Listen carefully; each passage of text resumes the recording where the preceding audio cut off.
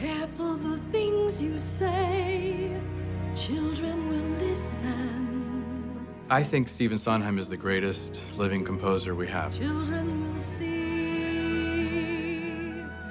What's beautiful about a Stephen Sondheim song is that it's a sort of full journey. You know, that's one of the geniuses of his work. Guide them along the way. There's a feeling about certain stories that music will enhance the story.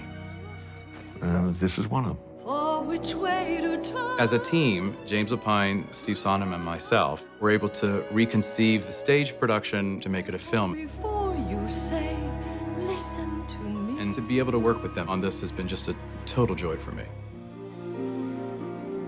When you're working with Stephen Sondheim's music, it's not just a song. There are really little plays within plays. All right, what do you want? Have to decision. The song on the steps of the palace was my window into the real genius of Sondheim, the way that he writes music. You see every thought in this character's head. And I've learned something too, something I never knew.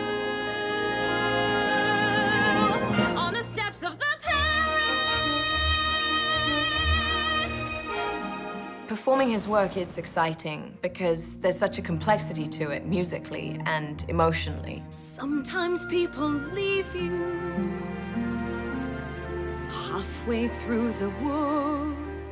You have to be able to sing and have a, a great deal of depth in these roles as well. And this cast just hit all those marks every time, every one of them.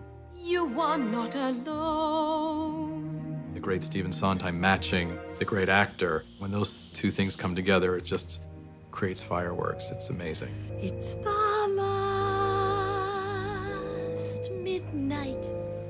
When you first encounter the music, it's arresting, but it always has more to give you. Meryl Streep is so remarkable. She's able to find colors in lyric that I've rarely come across.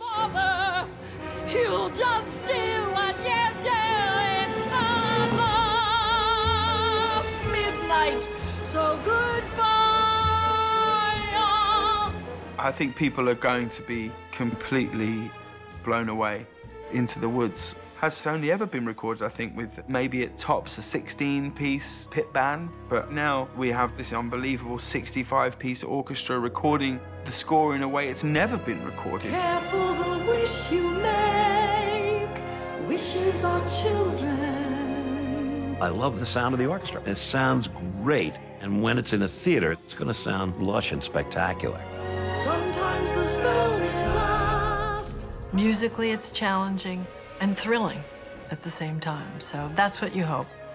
People will be thrilled and challenged. Careful the tale you tell. That is the spell.